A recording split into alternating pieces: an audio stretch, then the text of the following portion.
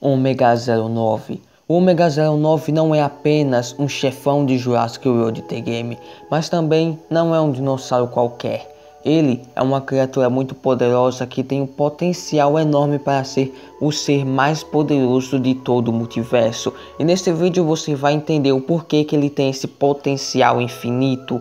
Nós vamos analisar as suas habilidades e detalhes que vão mostrar para a gente o porquê que ele é tão poderoso assim. Então se inscreva e deixe seu like para não perder os próximos vídeos que irá ser lançado nesse canal. Então vamos começar logo a sua primeira aparição.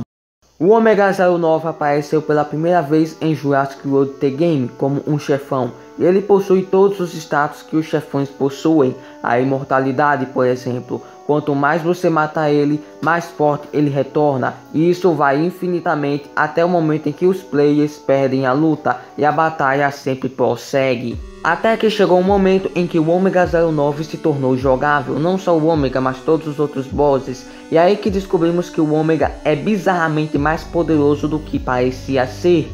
Começando que, como todos os outros dinossauros do jogo, ele possui a consciência do player.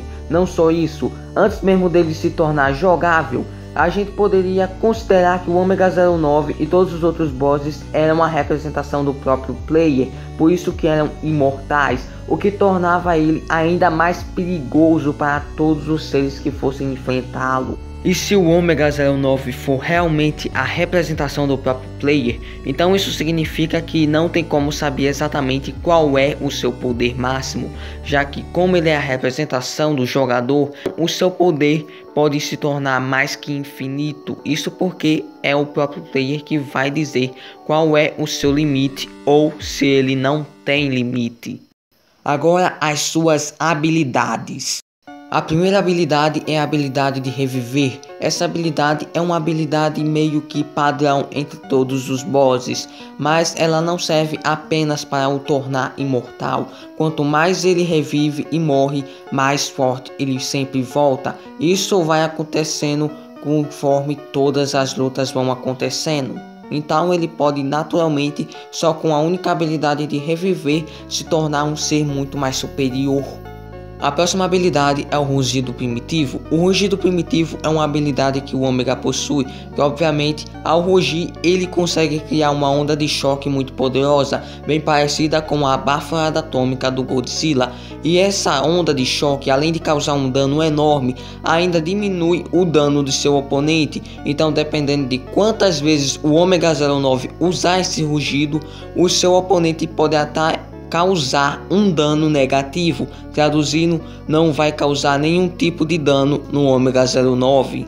Agora vamos falar da última habilidade do Omega 09 até agora, que é o Rugido dos Campeões. O Rugido dos Campeões é bem parecido com o Rugido Primitivo, só que um pouco diferente. Isso porque o Rugido dos Campeões aumenta o dano do Omega 09 em 50%, não só isso, mas como também a sua vida e até mesmo de criaturas aliadas. E ele pode fazer isso infinitamente, podendo até ganhar um poder infinito. Isso é algo bizarramente bizarro. Isso porque ele sempre vai ganhando vida, 50% de vida, 50% de dano, infinitamente quanto mais ele usa essa habilidade. E a sua inteligência é muito vasta. Isso porque, como eu disse antes, ele possui a consciência do player. Isso se ele não for a representação do próprio player, o que dá no mesmo, só com a única diferença de que o player é quem dá os limites do ômega. Então, com ele sendo a representação do próprio player, então é muito mais fácil ele vencer uma batalha. Isso porque provavelmente ele já vai saber os movimentos de seu inimigo. E não importa se é uma entidade ou não, o Ômega vai saber quais são as fraquezas desse inimigo, ou mesmo como o seu poder é infinito, já que é a representação do próprio player, ele pode também criar uma fraqueza. E isso é algo bastante possível, porque é a representação de um player. Então, tipo assim, nada seria impossível. Agora os detalhes do ômega 09. O ômega 09 é um tiranossauro, então isso torna ele um pouco mais apelão, meu parceiro. Isso por causa de um motivo.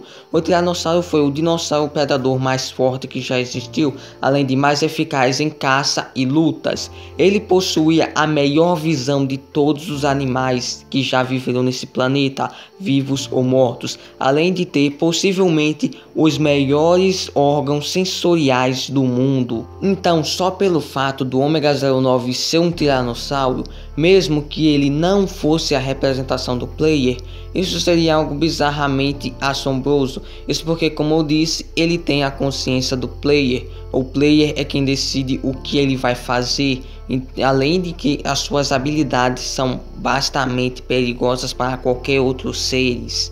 Deixe seu like, se inscreva e ative o sino das notificação para não perder os próximos vídeos desse canal. Então, até mais e até a próxima.